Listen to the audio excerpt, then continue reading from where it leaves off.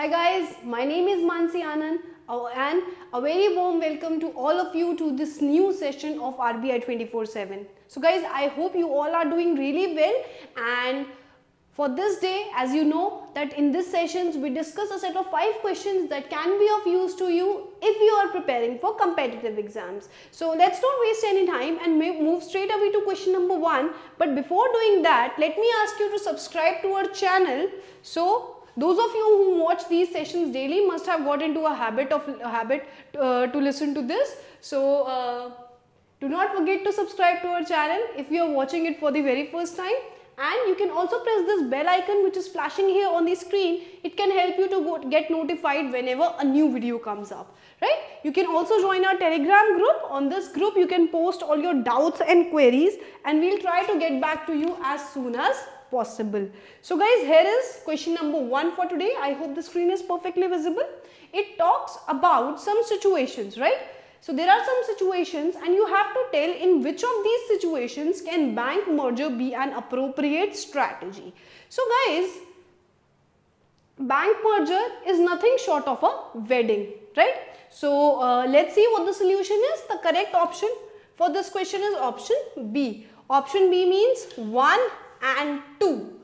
1 and 2. So as I was talking that a bank merger, you can easily compare it to a wedding. Just as a bride and a bridegroom they have to adjust and accommodate to in order to stay happy together. Similarly, two banks if they are getting merged into one entity then obviously they have to make certain adjustments, certain accommodations and there are as just like a wedding there are uh, also some pros, pros and some cons to this merger, right? So this has been picked up from one of your comments on the videos in which you asked me to take up the reasons behind bank merger. So I hope this helps you. So talking about the first situation, Bank X, an established bank with a huge consumer base, looks to develop its digital operations like the young banks are doing nowadays. So basically there is an old bank which is established so obviously it must be having trust in uh, among its consumer base, right? But where it is lacking? It is lacking into technology. It wants to digitize it, its operations. It wants to learn something new. Now, in case it gets merged with a young bank or let's say with a bank which is having or uh, which is doing some sort of breakthrough in fintech innovation, then it can be really helpful for these two banks to merge. You can just understand it as the situation of helping an old person to cope up with technology. Just as we all help out our parents uh, or grandparents in order to tell them. So uh, I think आप सबने ये face किया होगा कभी ना कभी अपने parents को या अपने ग्रैंड पेरेंट्स को बताना कि एक व्हाट्सएप को कैसे फॉरवर्ड करना है, या फिर यूट्यूब पे कोई वीडियो कैसे चलाना है, या फिर अगर उनको यूट्यूब पे कोई बहुत पुराना गाना सुनना है तो these are situation we all we all have faced in our lifetime right so just as we help them to learn this technology in similar way, this young bank, which has staff which is working into fintech innovation can help this established bank. Now what is in this deal for this young bank? The experience of an old and established bank when you tell your parents or grandparents uh, in uh, the knowledge to work out technology in return, they tell you or they give you wisdom, they give you knowledge from their life's past experiences. Similarly, this old established bank can help this young bank get the customer base because the customer base has trust on this old bank.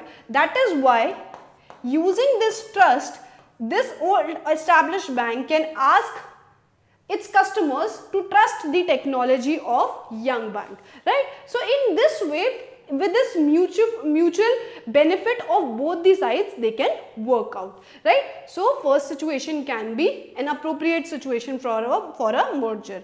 Now second situation abc bank has a presence all over northern india and it is looking to expand in southern india as well right? Similar sort of situation there is a bank which has presence in north india and looking to establish in southern India right? So if it merges with a bank which which enjoys trust of people living in the southern part of country this southern bank can also get benefit from merging from this north bank right? Because they both can uh, get access to each other's geographical boundaries. So in this way they can expand right? So that is why this can also be a situation for merger. Now third point says bank w has a unique work culture which is quite different from the other banks in the industry now we have got a weird bank right so now this weird bank is having some different sort of attitude. So it can be really difficult for it to accommodate or adjust with any other bank, right? So just as in a wedding, if one person is not willing to adjust or is having some different sort of attitude than a normal person or is in simple sense a weird person then it becomes difficult to adjust right so जिस तरीके से शादी में एक ए, एक शादी में adjust करने में डिफिकल्टी होती है अगर एक पर्सन एडजस्ट ना करना चाहे उसी तरीके से इस बैंक को भी दिक्कत हो सकती है। So that is why this might not be a very good situation for merger right so I hope this these are some reason and you can figure out the reason behind these situations moving ahead that is why 1 and 2 can be correct answers Okay, here are some advantages and disadvantage, disadvantages of getting married. First of all, advantages reduces the cost of operations. Obviously, two people living in separate houses, right? If they live together, then obviously they can save up on their money. So basically they can have benefit of economies of scale, right? So one benefit of getting married. The other one, merger helps in financial inclusion and broadening the geographical reach of the banking, right? Just as we saw in the examples. NPA and risk management are benefited. See, the point is, whatever is lacking in one person can be fulfilled by the other partner right so this is the uh, this this is the fundamentals these are the fundamentals of a good marriage or of a successful marriage that both the partners they try to fulfill the deformities or basically uh, whatever are the deficiencies of each of these persons can be fulfilled by their partner right? So in banking also if we say that one partner is really wealthy and the other one is poor then obviously this poor one can have benefit or they both can share the wealth right in this situation, the poor person can make the ends meet by getting married to a wealthy person. In similar, in similar sense, a poor bank or a bank which is facing financial difficulties, which is witnessing a huge amount of NPAs, it can get help if it combines with a wealthy bank, right? So, wealthy bank might be having some incentives like uh, access to some geographical locations that this poor bank has, right? So there must be something for this wealthy bank into this deal, right? So leads to availability of bigger scale of expertise, helps in minimizing the scope of inefficiency, right? Which is more in small banks. Merger sees a bigger capital base just as I told you higher liquidity that reduces government's burden of recapitalizing the public sector banks. So let's say this poor person is really homeless, doesn't even have a home for living and this wealthy person, this person is having a bungalow to live in. So now if they both get married then government wouldn't have to worry about this homeless person because this person has found accommodation into this wealthy person, right. So this can relieve the government of making amends or making some uh, adjustments for this poor person. This relieves or relieves the burden of government. So, this can be a useful situation. Now, coming to disadvantages of a merger. First of all, many banks have regional audience and cater to merger destroys the idea of decentralization. Basically, some banks, they work into a niche industry or they, they serve a particular set of customers or see, ये जो छोटे banks होते हैं कई बार ये एक limited set of customers को ही services provide करते हैं जो कि एक पर्टिकुलर एरिया से बिलोंग करते हैं और जब ये बड़े लेवल पे आते हैं तो ये इतना सक्सेसफुल नहीं हो पाते हैं so sometimes when the scale is increase the small banks they can have problems in adjusting to the in adjusting to the work environment of bigger banks right or they are just used to serving a particular set of customers second larger banks might be more vulnerable to economic crisis while smaller ones can survive. Sometimes this also happen. The bigger the enterprise, the more they are exposed to NPAs. देखो जितना बड़ा bank होगा उतना ही ज़्यादा उन्होंने loan दिया होगा उतनी ही बड़ी कंपनीज को उन्होंने लोन दिया होगा और in case if there is a crisis a bank which has lent to bigger businesses has more chances of going down has more chances of getting failed as compared to a smaller bank because usually the small banks they lend to retail customers or individual customers छोटे bank क्या करते हैं ज़्यादातर आम इंसान को loan देते हैं छोटे मोटे लोन्स देते हैं तो अगर वो पे बैक नहीं भी करते तो उनको ज़्यादा फ़र्क नहीं पड़ता बट बड़े बैंक्स के सिचुएशन में अगर बहुत बड़ी कंपनीज़ लेट्स से if Reliance takes a loan from a big bank and run away, runs away with all the money, then what is going to happen? This is going to, this, this, this has the ability to destroy a big bank, right? So larger banks, they are more vulnerable. So if by merger we increase the scale of bank, we might make them more vulnerable. Merger could only give a temporary relief, but not a real remedy to problems. So just as the partner cannot fulfill all the deficiencies of the other partner. In similar ways, banks have to improve upon themselves, right? So let's say if one person in the marriage is really lazy and other one is really hardworking, then for temporary basis they might be able to work it out but after some time it would be it would create some problems amongst their understanding so the lazy person would have to improve upon themselves rather than getting dependent upon the hardworking one. Similarly, bad banks or the banks who are facing the problems will have to make some permanent changes.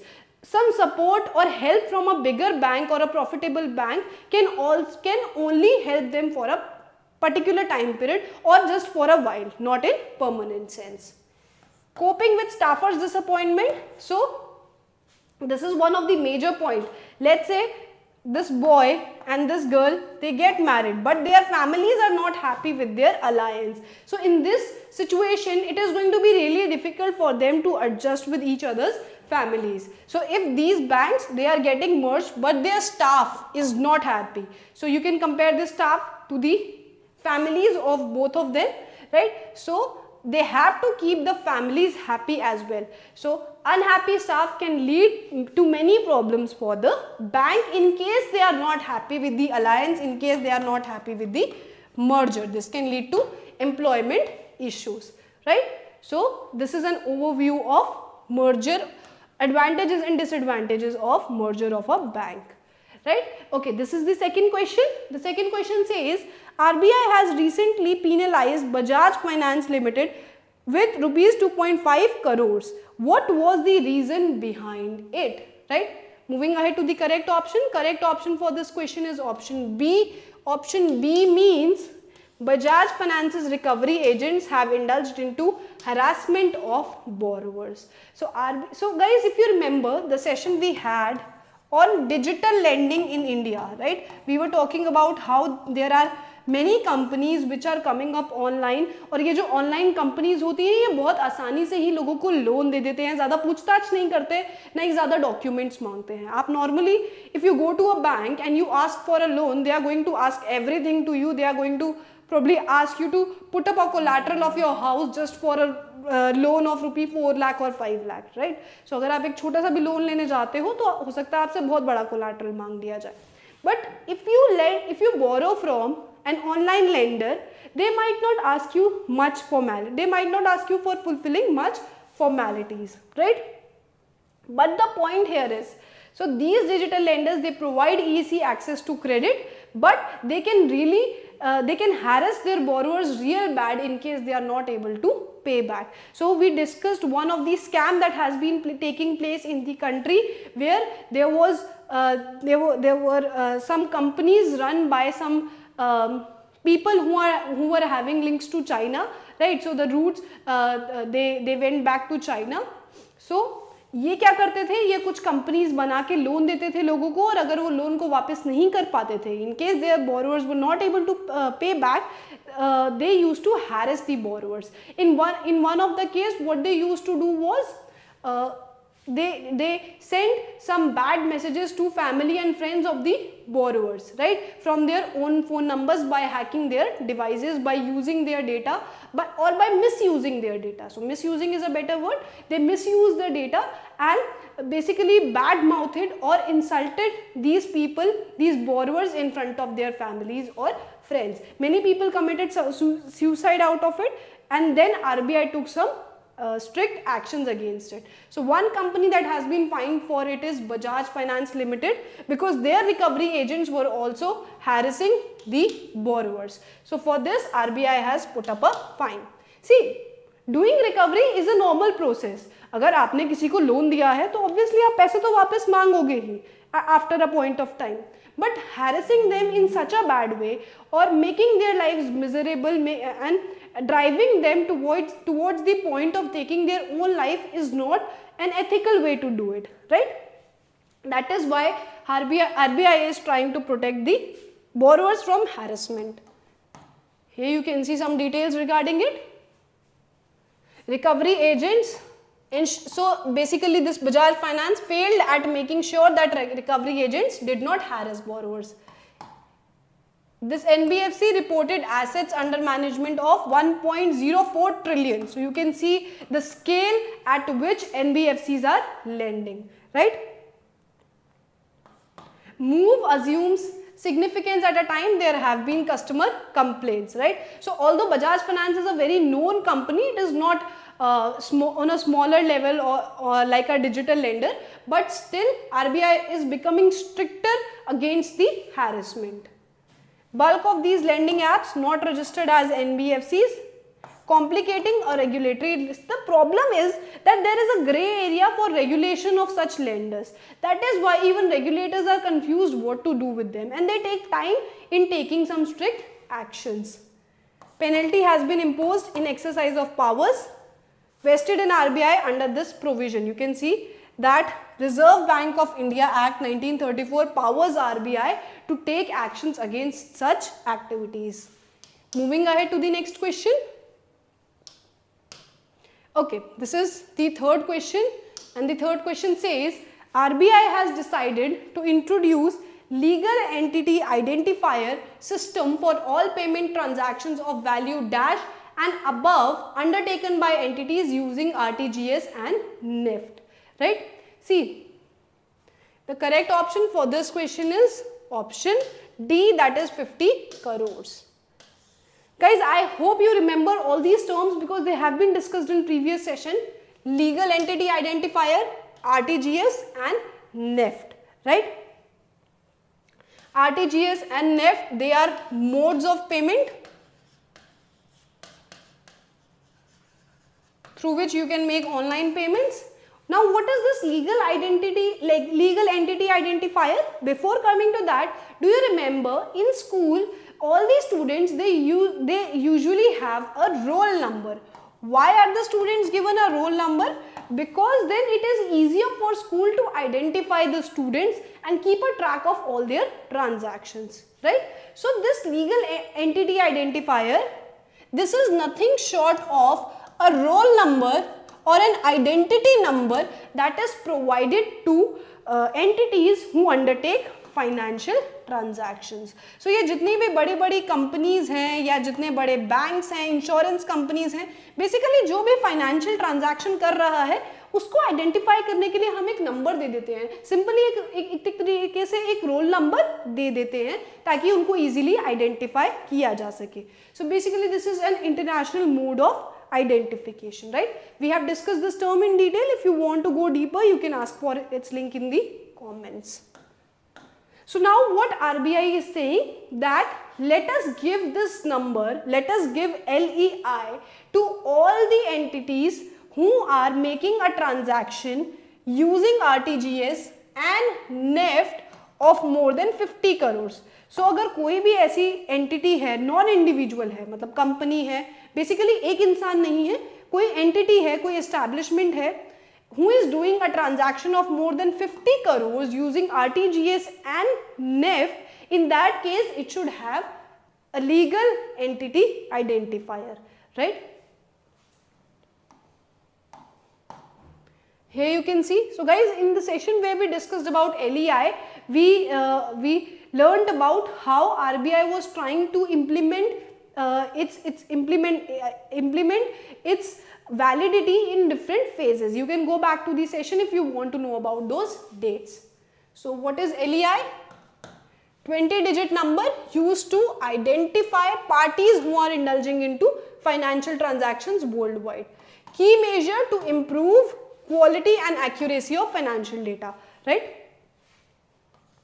Introduced by RBI in a phased manner for participants in over-the-counter transactions and non-derivative markets and also for large borrowers. So some parties, some areas where RBI has introduced LEI. It has now been decided to introduce LEI system for all payment transactions of 50 crore, we just uh, learned it. So here you can see RBI has given some operational guidelines advise entities who undertake large value transactions to obtain LEI in time if they do not already have one so अगर आपके पास L I L E आई नहीं है और आप बड़ी transaction कर रहे हो तो आर बी आई कह रहा है कि जल्दी से जाके ये नंबर ले लो, वरना आगे जाके प्रॉब्लम हो सकता है। Include remitter and beneficiary L E I information in R T G S and NEFT payment so whenever someone is doing a payment through R T G S or NEFT they have to provide the details of remitter someone who is providing the money and beneficiary who is receiving the money. एक financial transaction में क्या होता है? Someone sends the money and someone receives the money. So remitter and beneficiary, both of their LEI number, LEI information has to be provided maintain records of all transactions, right? Now, from where you can take this LEI? From any local operating units accredited by Global Legal Entity Identifier Foundation. So, this is an uh, organization, a foundation which, which authorizes these smaller units to provide LEIs, right? In India, it can also be obtained from Legal Entity and Identifier India limited right? So simple enough. Moving ahead to next question. Question number 4 which says select the statement which is correct about index investing right? Simple enough correct option option E. Guys index investing. If you remember in a recent session we talked about an index that RBI is going to create. That was called RBI DPI digital payment index. In that I told you what is the meaning of an index, right? In brief, when we have many elements and we want to know their performance, what we do is we combine them in a form just as you have percentage which tells you uh, an average performance in all of these subjects, right? Similarly, there is an index which tells you about performance of different elements in a combined form. Now, coming to an investment technique that is index investing. Index investing means investing into a scheme, into a fund which is following a particular market index. It can be Sensex, it can be Nifty, right? Or it can be any international index like S&P, right?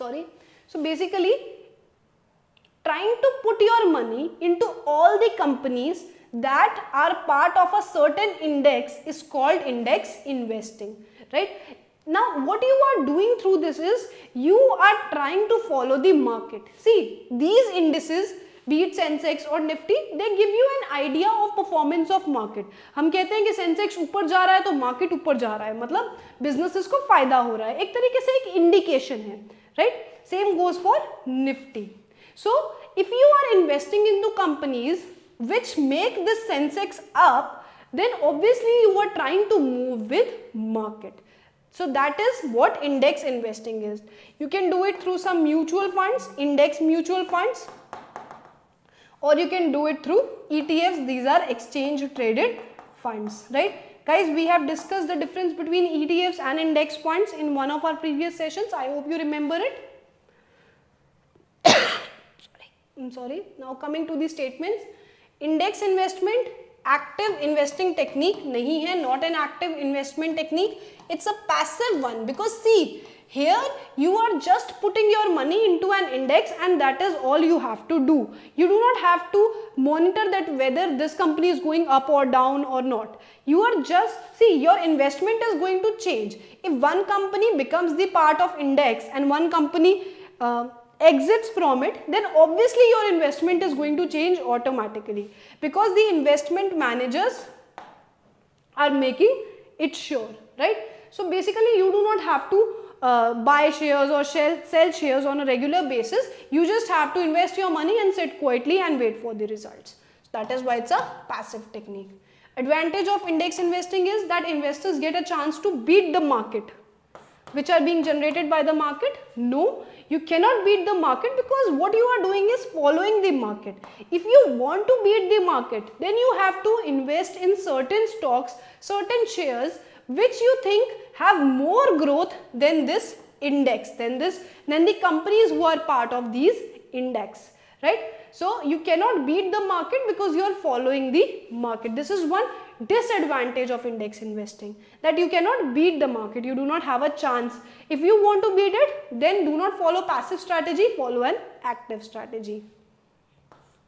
Works on the principle that index is more volatile than a single company or a group of company. This is also not right because index is more stable or you can say it is less volatile than a single stock because let's say if you have invested all your money into let's say Tata right? You have put all your money into Tata shares. What if Tata's shares fell down? Then what is going to happen is you are going to lose money. But if you have put your money into an index let's say Sensex basically a scheme which invests into all the companies of Sensex, then let's say Tata forms part of this Sensex. Then if Tata goes down, there are many other companies. So Sensex comprises of 30 companies. There are, there are many other companies and if they rise in value, they can compensate for the loss of Tata. So your investments are diversified.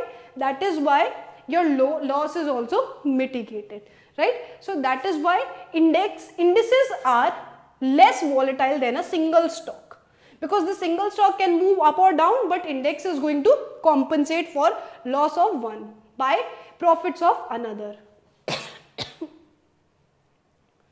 okay, moving ahead to next statement which says index investing schemes can charge a hefty fees from the investors. This is also not true because they charge less because they charge less fees as compared to other active schemes because see even managers they don't have to worry much about which company to buy which which to sell because they just have to follow an index and they do not have to worry too much about it that is why there is not much work involved and they charge less fees from the investors so this is a correct statement because passive investing is, is a low risk approach or index investing is a low risk approach, right?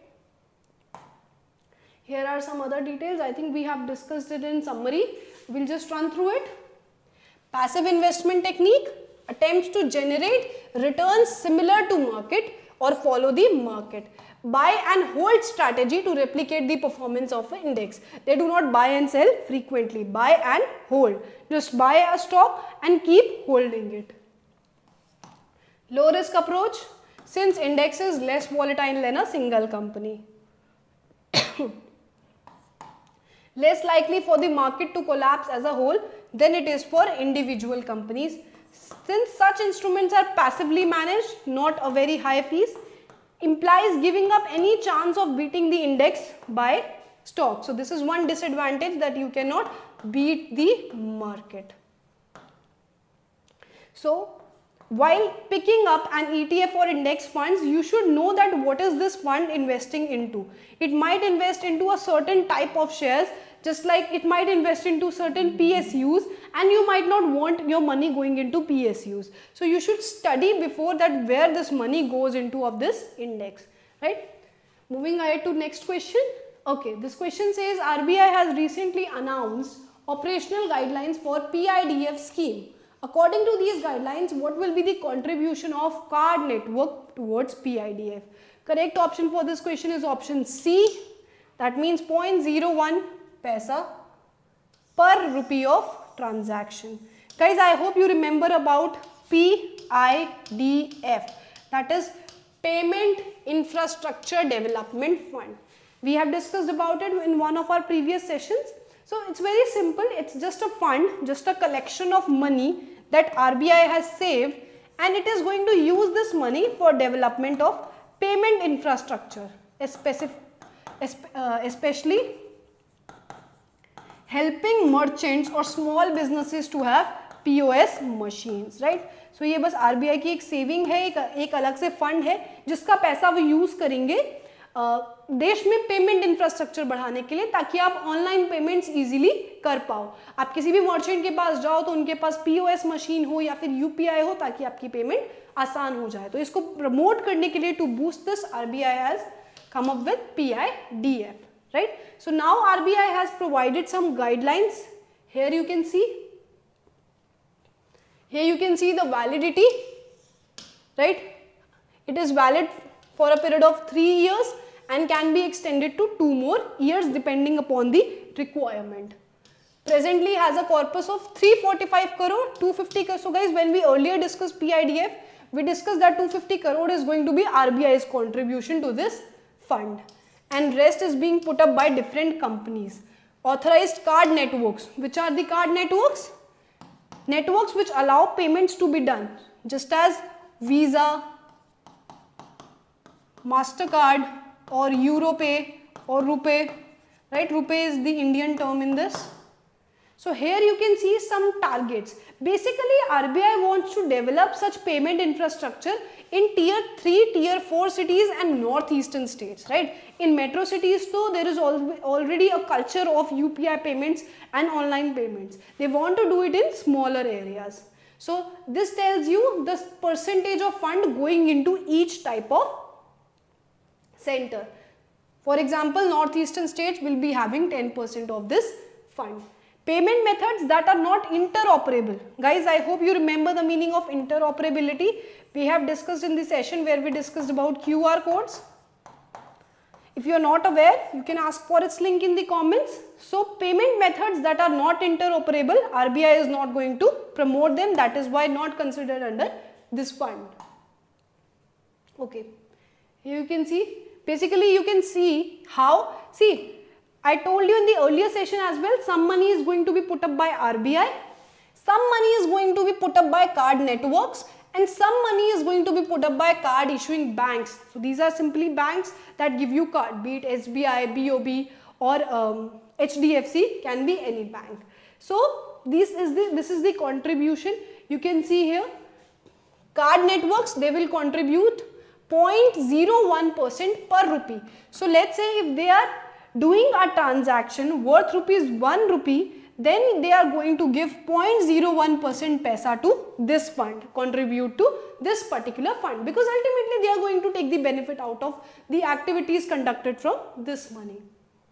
Card issuing banks, they will provide this much of contribution.